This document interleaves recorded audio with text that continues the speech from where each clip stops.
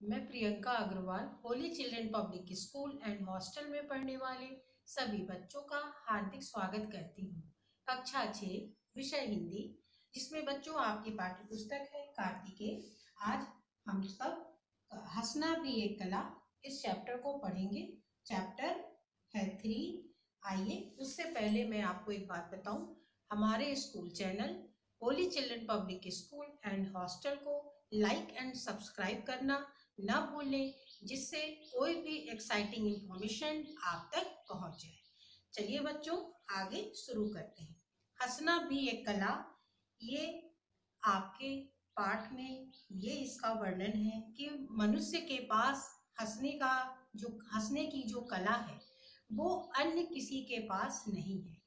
न जानवरों के पास है, न और किसी पशु पक्षियों के पास है।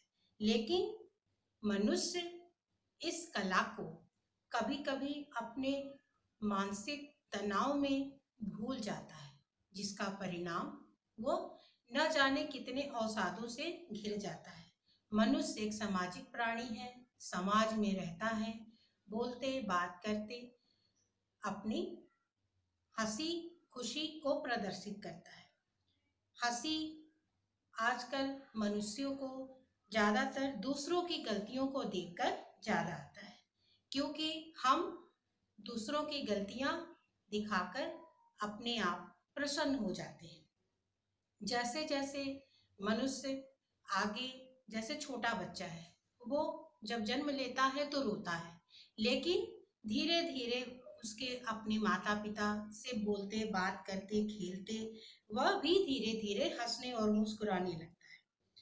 कहते हैं कि जो जो व्यक्ति बहुत हंसोड़ होते हैं और जो कम हंसने वाले व्यक्ति होते हैं, उनके साथ रहने से उन्हें भी हंसने की आदत पड़ जाती है।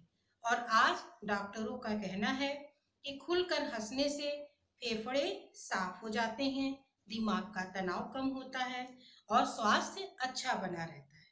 इसलिए कम से कम एक बार दिन में ज़रूर दिल खोल कर हंसना चाहिए। इससे सांस के सभी अंगों का व्यायाम हो जाता है और आजकल मानसिक तनाव को दूर करने के लिए हमारे टीवी चैनल पर ऐसे कार्यक्रम चलाए जा रहे हैं, जिससे हमारा तनाव कम हो सके और हम खूब हंसें। तो बच्चों, आज के लिए इतना ही, लेकिन इसमें आपके हंसना भी एक कला, इसमें आपके शब्दार्थ और एक्सरसाइज दिए हुए हैं, जो आप बुक में भी कंप्लीट करेंगे और नोटबुक में भी कंप्लीट करेंगे। तो यही आपका होमवर्क है। धन्यवाद। घर में रहिए सुरक्षित रहिए।